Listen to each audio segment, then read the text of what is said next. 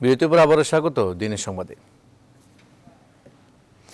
বারো বছরে পদার্পণ করল দেশের অন্যতম শীর্ষ দৈনিক কালের কণ্ঠ। আংশিক নয়, পুরো সত্য জানানোর অঙ্গীকার নিয়ে দুই সালে দশই জানুয়ারি যে পথ চলা শুরু, পাঠকের আস্থা ও ভালোবাসায় তা অব্যাহত রয়েছে।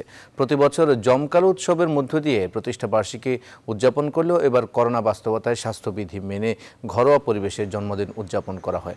বারো বছরে পদার্পণ উপলক্ষে ইস্ট ওয়েস্ট মিডিয়া গ্রুপের কনফারেন্স হলে কেক কাটা হয়। উপস্থিত ছিলেন কালের কণ্ঠের সম্পাদক ইমদাদুল হক মিলন। বাংলাদেশ প্রতিদিন সম্পাদক ও news twenty four CEO Naeem Nizam, গণতান্ত্রিক মূল্যবোধ, অসাম্প্রদায়িকতা ও মুক্তিবুদ্ধি চর্চার ক্ষেত্রে কালের কণ্ঠ তার স্বকীয় বৈশিষ্ট্য সমুজ্জ্বল রাখবে এমন প্রত্যাশা, কথা জানান সবাই।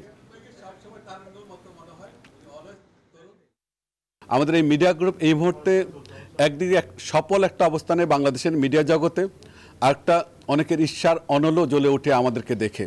দুটি পার্ট আছে। এই কারণ হলো আমাদের প্রত্যেকটা মিডিয়ার সাফল্যর জনক একটা অবস্থান। এই যুগে, এই কালে, এই অবস্থানে একটি সংবাদপত্র বারো বছর সফল, সাফল্য নিয়ে টিকে থাকাটা একটা বিশাল ঘটনা।